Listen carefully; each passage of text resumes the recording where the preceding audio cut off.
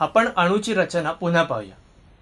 एका अणूच्या मध्यभागी केंद्रक असते आणि इलेक्ट्रॉन केंद्रकाभोवती ठराविक कक्षेत फिरत असतं. प्रोटॉन आणि न्यूट्रॉन हे या केंद्रकामध्येच असतं. प्रोटॉन धनभारित इलेक्ट्रॉन ऋणभारित आणि न्यूट्रॉन भाररहित असतात एका वर्तुळामध्ये त्रिज्या म्हणजे वर्तुळाच्या केंद्रापासून वर्तुळावरील कोणत्याही बिंदूपर्यंतचे अंतर.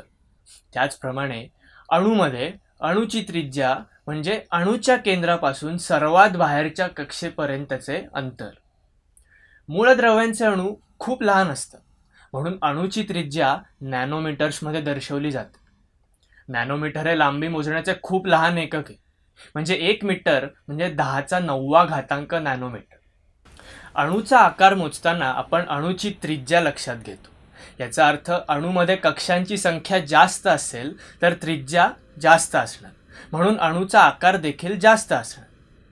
उदाहरणार्थ सोडियम. अणुवस्तुमान अकरा. इलेक्ट्रॉन संरूपण दोन आठ एक. कक्षा तीन. पोटॅशियम अणुवस्तुमान एकोणीस. इलेक्ट्रॉन संरूपण दोन आठ आठ एक. कक्षा चार.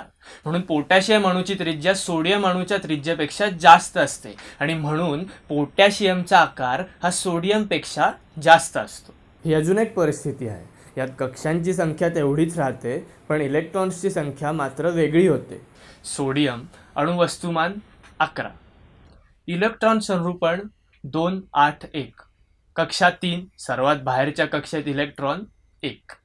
मॅग्नेशियम अणुवस्तुमान बारा. इलेक्ट्रॉन संरूपण दोन आठ दोन.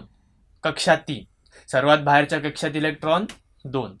अणूमध्ये प्रोटॉन आणि इलेक्ट्रॉनमध्ये आकर्षण असते. जर सर्वात बाहेरच्या कक्षेत इलेक्ट्रॉन जास्त असेल तर आकर्षण जास्त असते. आणि म्हणून त्रिज्या ही कमी असते व अणूचा आकार देखील कमी असतो.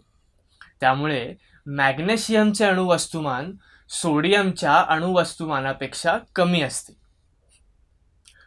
अणुवस्तुमानांक. अणुवस्तुमान हे केंद्रकामध्ये असते.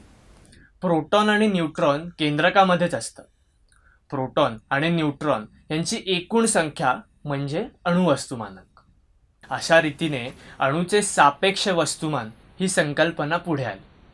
अणूचे सापेक्ष वस्तुमान मोजण्यासाठी एका संदर्भ अणूची गरज होती. हायड्रोजनचा अणू सर्वात हलका असल्याने सुरुवातीच्या काळात हायड्रोजनची निवड संदर्भ अणू म्हणून झाली. ज्याच्या केंद्रकात केवळ एक प्रोटॉन आहे अशा हायड्रोजन अणूचे सापेक्ष वस्तुमान एक असे स्वीकारण्यात आले. त्यामुळे सापेक्ष अणुवस्तुमानाचे मूल्य हे अणुवस्तुमानां इतके म्हणजे पी अधिक एन असे झाले. काही काळानंतर कार्बन या अणूची संदर्भ अणू म्हणून निवड झाली.